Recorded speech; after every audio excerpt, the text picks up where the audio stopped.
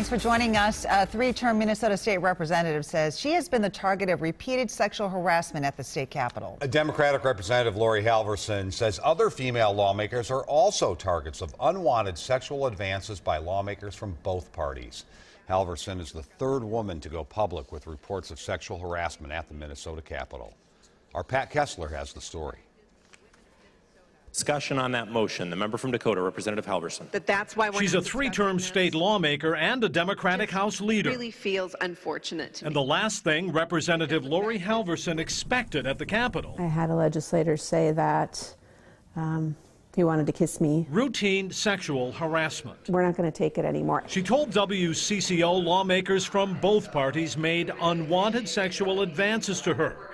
This year, forced by a lawmaker with others present to look at a cell phone image of a man's genitals. Against my will. I was saying, don't show it to me, don't show it to me. And it was shown to me. So When she objected, the response that I got was, hey, Laurie, I thought you were cool. Halverson was shaken by the incident and says her reaction is similar to other harassed women. I had trouble meeting the eyes of my colleagues the next day.